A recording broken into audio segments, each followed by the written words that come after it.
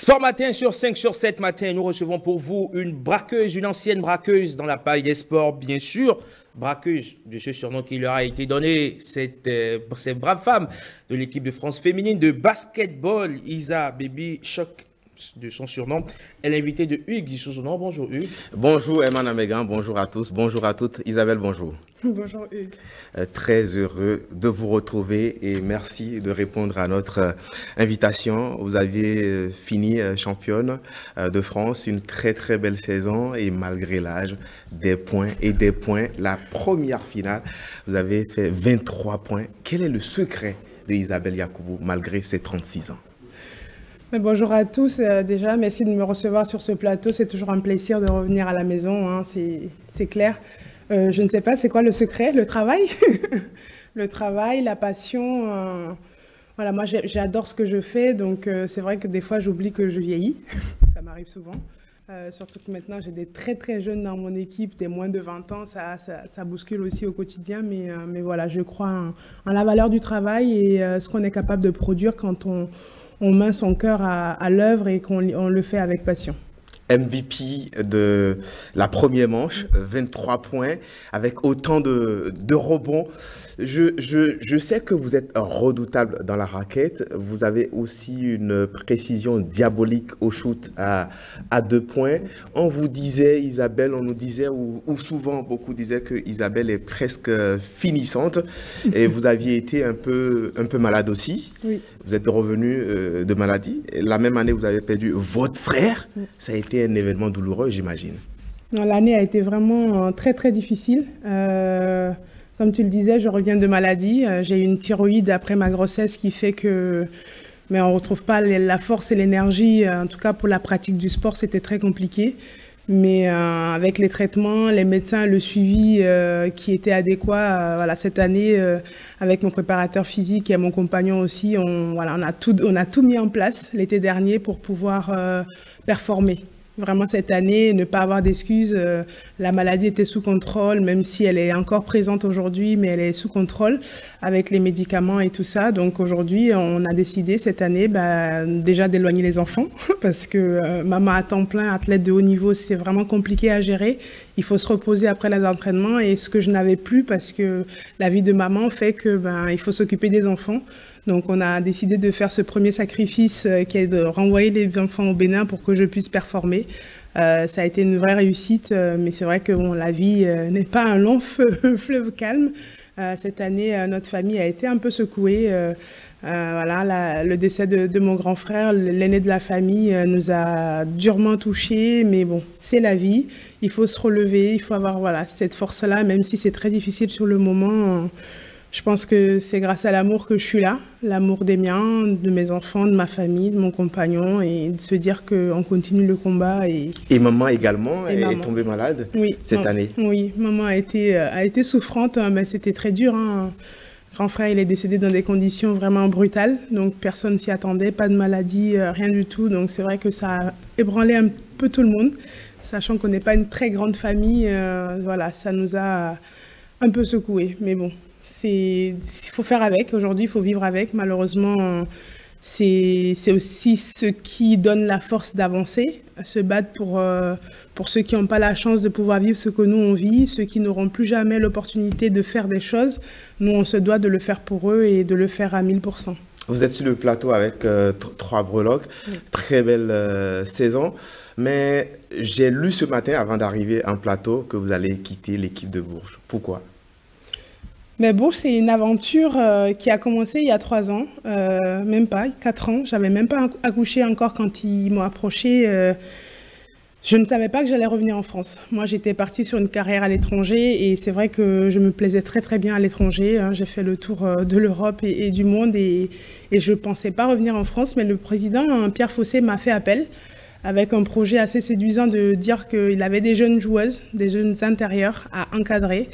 Euh, et, que mon expertise euh, lui était nécessaire. Le pari a été plus compliqué que ce qu'on avait cru. Euh, le retour de maternité, le Covid, tout ça, et puis le départ de Pierre, parce que quelques mois après ma signature, il arrêtait la présidence. C'est une, femme qui a, qui a repris la présidence du, du club. Donc, ça a été vraiment très compliqué pendant trois années. Voilà, il y a des mariages comme ça. Ça a été compliqué, des problèmes avec les coéquipiers, des problèmes non, les, les, avec les dirigeants. Oui, un petit peu, mais ça fait partie du travail. Vous savez, on est des humains et vous, comme moi, on, a des affinités avec des gens un peu plus que d'autres.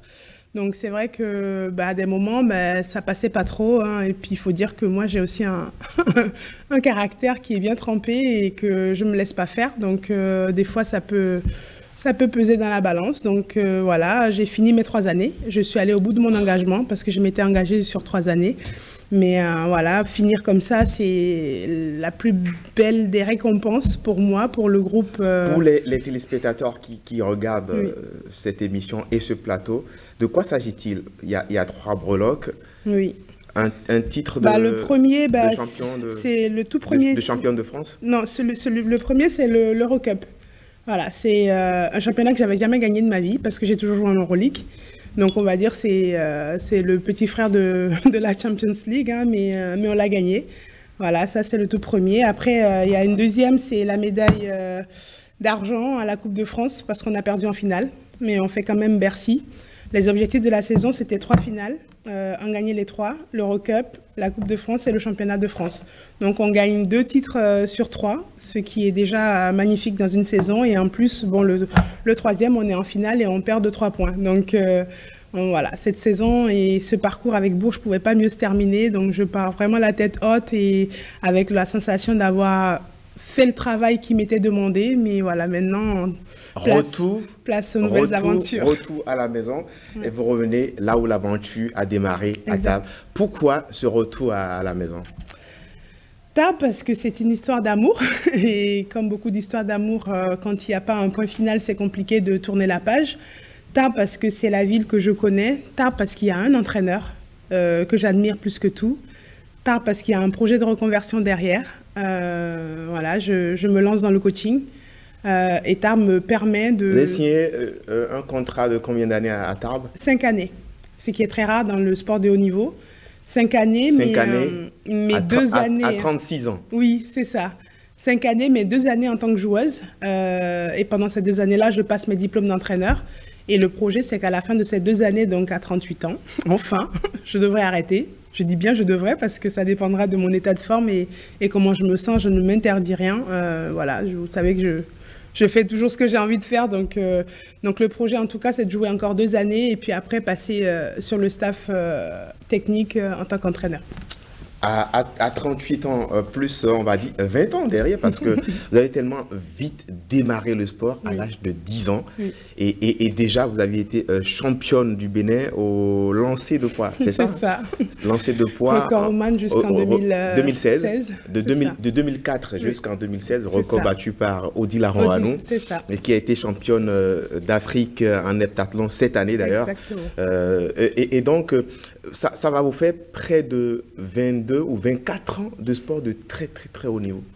Bah Est-ce que le, corps n'est pas épuisé? Est-ce qu'à un moment donné, euh, vous ne vous dites pas, je vais arrêter? Mais chaque année, je me dis ça depuis 2014. chaque année, je me dis c'est la dernière, euh, je veux faire autre chose, mais chaque année, je finis et je me sens bien. Euh, là, le pari sur ces trois années sur Bourges était vraiment de pouvoir finir ma carrière là. Mais euh, comme j'ai dit, avec le retour de la maternité, la maladie, euh, c'est maintenant que cette année, j'ai pu m'exprimer en tant que joueuse. Donc c'est comme si j'avais perdu deux années et, du coup, oui, je, je, prends le temps maintenant de profiter des deux dernières années euh, qui me restent à jouer en profitant à fond. Emmanuel avait une question pour vous. Oui, alors, après les événements euh, plus ou moins malheureux qui sont survenus dans votre vie, vous avez confié dans un entretien que vous avez fait un burn-out. Oui. Euh, comment est-ce que, où est-ce que vous avez trouvé les ressources mentales pour rebondir derrière? C'est un sujet qui est un peu particulier, j'espère. Maman regarde l'émission et c'est vrai que j'en ai pas parlé à ma mère de ce burn-out parce que c'était vraiment un moment difficile euh, personnellement. Euh, d'être l'aîné de la famille, du coup, en, ayant perdu mon, grand frère, c'est vrai que ça m'a mis beaucoup de pression. Et, euh, mon burn-out, je l'ai fait au retour, donc après l'enterrement et tout ça, je l'ai fait en France. Donc jusqu'à présent, j'en ai même pas parlé à ma mère, euh, du fait de sa santé fragile. Et on trouve la force où? Ben, Moi, c'est l'amour qui m'a sauvée, clairement. L'amour des miens, le, soutien de mon, de mon petit frère qui, Voilà, qui a été là. Qui a été également MVP Exactement. du championnat cette année avec l'équipe de Coton. Exactement. Arnold Yacoubou qui joue à Elan, qui est capitaine et oui, aussi vieux, aussi 34 ans et MVP du, du championnat. Mais c'est vraiment, je pense, leur amour au quotidien de me faire sentir que je n'étais pas seule à apporter le poids de la famille qui m'a ramenée, je pense. Et puis on vous voit aussi consultante sur, sur les médias. C'est un métier que vous découvrez, vous y plaisez bien? J'adore ça. J'ai découvert ça en Italie. En Italie, voilà, j'ai découvert ça en Italie. En, France. Exactement, et, c'est vrai que c'est quelque chose que, que j'aime beaucoup parce que je pense que voilà, j'ai j'ai une opinion sur le, métier qu'elle mien, hein, le basket, et j'aime le partager avec les gens. D'abord, pour moi, c'est comme un spectacle. Hein. Le sport, euh, les gens, ils payent un ticket pour venir nous voir. Donc, on est là d'abord pour divertir. Mais au-delà de ça, il y a un travail qui est derrière que les gens ne voient pas forcément. Et, voilà, je, me targue de, me mettre en, tant que défenseur de, des athlètes de haut niveau et pouvoir partager le côté euh, un peu caché de cette médaille-là. On va retrouver à, la régie euh, votre photo, l'une de vos photos lorsque euh, vous êtes arrivé oh euh, en France euh, en, en, 2003. Et euh, quand on voit Isabelle Yacoubou qui a pratiqué euh, l'athlétisme, qui arrive à, à Tarbes trois ans après, naturalisée française, vous avez gagné également le titre de MVP chez les moins de 20 ans pour votre ça. première participation chez les, chez les, moins de 20 ans. Vous avez remporté l'euro. Isabelle qui, qui vient d'un pays où il n'y a pas de grand nom dans le basket masculin, il n'y a pas de grand nom dans le basket féminin. Comment elle arrive à être parmi les 20 meilleures joueuses françaises de ces 20 dernières années Oui, c'est vrai que c'était un honneur pour moi de recevoir cette distinction de légende du basket français. Euh, le chemin a été long, vraiment très long. Et, euh, je ne sais pas, je ne m'arrête pas je ne m'arrête pas pour admirer, je ne m'arrête pas pour contenter. Enfin, j'ai une route, je fonce, je veux être la meilleure. Euh, ce sera pareil dans le coaching. J'ai envie de devenir la meilleure, euh, meilleure entraîneur que, que je puisse, entraîner l'équipe de France. Enfin, j'ai des, des rêves peut-être qui seront pourquoi jamais entraîner, atteignables. Pourquoi pas entraîner l'équipe du Bénin? Bah, Pourquoi pas? Pourquoi pas? Je, je, pense qu'aujourd'hui, j'ai pris un petit peu de retrait avec le Bénin parce que je pense qu'on a des étapes à franchir. Et sincèrement, pendant des années, j'ai essayé de faire des choses, mais, mais ça n'avance pas. Vos camps de basket Exactement, exactement. Mais je, je pense que maintenant, ça commence votre, à bouger. Votre portable également volé, et ça vous a tellement marqué à Novo. Oui, mais ça, c'est, enfin, le plus, le plus, le plus triste dans tout ça, c'était mes souvenirs des Jeux Olympiques et des images que je retrouverai jamais. Mais ça, bon, c'est une parenthèse, ça, ça n'enlève pas mon engagement auprès de mon pays et du sport que, surtout le sport que, qui m'a donné tant. Et, et, je serai toujours à disposition. Hein. La dernière fois, j'ai été invitée par le président de la fédération à, à intervenir sur le camp de, FIBA qui se tient à, Ouida sur les, moins de 17 ans. C'est avec voilà, une très grande joie où je me suis rendue parler aux jeunes, euh, leur expliquer qu'ils étaient chanceux d'avoir l'opportunité de participer à ce camp avec des entraîneurs internationaux et des encadrants internationaux qui sont venus pour ce camp-là et que nous, on n'a pas eu ça. Et c'est clair qu'avec euh, voilà, la dynamique que prend le sport et le basket aujourd'hui au Bénin, euh, ça ne va que progresser. Et moi, je rêve de voir des Isabelle Yacoubou euh, demain sur les parquets, être au premier loge, euh, les entraîner en équipe nationale. Enfin, voilà, je vis pour ça. Donc, voilà, je, sais que ça commence à bouger. Déjà, le fait de professionnaliser le sport dans ce pays, de commencer à faire comprendre aux, acteurs économiques que le sport peut être vecteur vraiment d'économie et de dynamisme. Euh, qu'ils y investissent. Euh, ça commence à prendre et le jour où ils prendront vraiment conscience de tout ça, je suis sûr qu'il y aura un boom. Il n'y a pas de secret là-dessus. Un regard sur le basket féminin national Le basket féminin, euh, malheureusement, peine à décoller. On a du mal à trouver des grandes, mais il y a quelques perles qui ont été découvertes d'ailleurs sur le camp. Là, il y a une petite jeune qui vient de Paracou doit faire dans les 1m95, je crois. Un mètre, euh, selon ce que j'ai pu apprendre, 1m95, 1m90. Voilà, 90. Voilà. Elle a tout juste 15 ou 16 ans. Exactement. Elle a 14 ans même. 14 ans. Elle a 14 ans. Donc. Non, elle sera euh... plus grande que vous. Ah oui, vous oui, oui. Elle, est plus, elle, est plus, grande que moi et elle a commencé plus tôt. Donc euh, c'est exactement ce qu'on veut, que les grands ils, se mettent en valeur parce que c'est vraiment une voie qui est, qui est pérenne. Aujourd'hui, on peut gagner sa vie en faisant du sport. Et je pense que les parents avant, c'est ce qu'ils avaient du mal à comprendre que, le sport, c'était vraiment une perte de temps, alors qu'aujourd'hui, non. On peut gagner sa vie en faisant du sport et, euh, et puis vivre des choses euh, tellement incroyables que voilà, moi je. Il y a tellement de. 1m96, pour être plus précis. Merci. Il y a tellement de, de questions des, des téléspectateurs. On, on, va jouer la prolongation. Pas aujourd'hui, samedi prochain. Pourquoi pas, Samedi prochain. 5 minutes supplémentaires. 5 minutes supplémentaires. 5 minutes de temps additionnel. Et, et, si, et, et, si, on n'arrive pas à, à, répondre à, à, toutes les questions, les gens, les, gens, les gens veulent savoir si Isabelle Yacoubou est mariée. Je ne suis pas mariée, voyez. non, mais j'ai quelqu'un dans ma vie. Je, parlais tout à l'heure de mon compagnon qui est mon préparateur physique aussi et qui m'a remis après ma maternité sur, euh, voilà, on va dire, pour être encore une athlète de haut niveau. Donc oui, euh, je partage ma vie avec euh, quelqu'un et pour l'instant, on avance. on, parle du, basket de très très haut niveau oui. et vous êtes sur du très très haut niveau. Vous aviez été vice-championne olympique derrière l'équipe euh, américaine. Vous aviez été également euh, drafté euh, aux États-Unis. Malheureusement, ils se sont trompés sur l'âge parce que pour, pour aller dans, dans, le championnat américain, il fallait avoir moins de 20 ans. Est-ce que Isabelle Yacobo a un peu de regret de n'avoir pas joué aux États-Unis?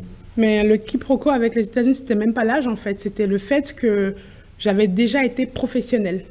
Moi, j'ai signé mon premier contrat professionnel à 19 ans. Et pour être draftable, à l'époque, il fallait pas signer de contrat professionnel. Et c'est ça qui a bloqué.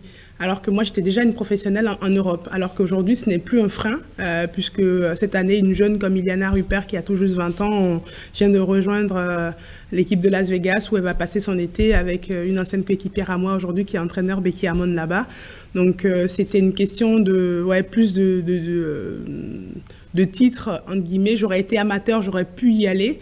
Mais ça reste un petit regret sans l'être, puisque j'ai quand même beaucoup gagné avec l'équipe de France.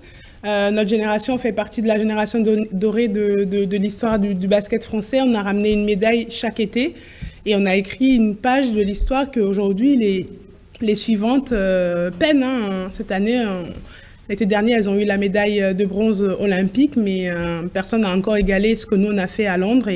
Et même au niveau européen, on a été championne d'Europe. Elles ont encore jamais été championnes d'Europe alors que le talent est quand même, soi-disant, plus important que ce que nous, on avait les braqueuses. Donc, euh, on a quand même marqué l'histoire.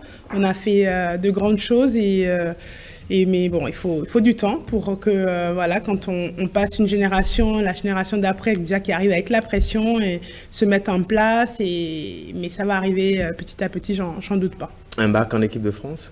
Non. il n'y a pas de suspense. Oui, oui, il faut savoir fermer certaines portes.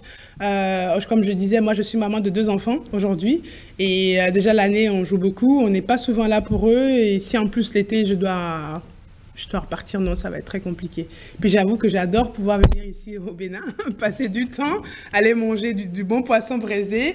Si je pars en équipe de France, vous m'enlevez tout ça. Donc euh, non, pas de regret et pas de retour en équipe de France possible. Merci beaucoup euh, ouais. Isabelle Yacobo. On va se retrouver samedi si, avec, si tout va bien. Avec grand plaisir. Merci, merci, beaucoup à vous, Souzenon. Je crois que ça a été un, un, instant de bonheur, un instant de plaisir d'avoir pu échanger donc, et d'entendre écouter Isabelle Yacobo. 5 sur 7 matin, la suite, euh, dernière escale, la revue de presse. Mais avant, on prend une petite pause, le temps de débarrasser du plateau et de faire la place à M. Arrossi.